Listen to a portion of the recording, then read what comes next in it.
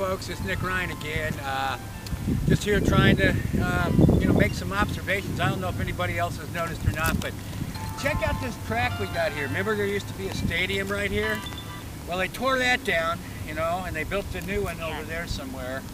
But when they were building it, they forgot to build a track, supposedly. So we've got this beautiful track right here. It's, it's, it's okay, you know, but they're going to tear this up and they're building a new one. Now, is that the height of incredible planning or what? You know what I'm saying? It's like, have a track here. Gonna tear this one up and build another one. Now, we're having uh, tuition increases, we're having cuts in student services, have a perfectly good track, but we're gonna tear this one up and we're building a new one right now. We're gonna go over there and take a look at it.